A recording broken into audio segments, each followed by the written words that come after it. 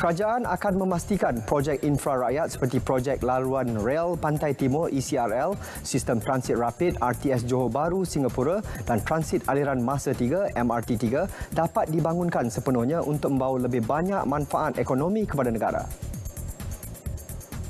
Menteri Pengangkutan Datuk Seri Dr. Wee Ka Siong menerusi catatan di Facebook rasminya berkata, kerajaan sentiasa mendengar suara semua pihak dan berusaha mencapai kesimbangan antara kesihatan, masyarakat dan ekonomi melalui pengumuman Belanjawan 2022 yang komprehensif dan inklusif. Keperluan selari dengan semangat keluarga Malaysia demi membawa manfaat kepada negara dan rakyat.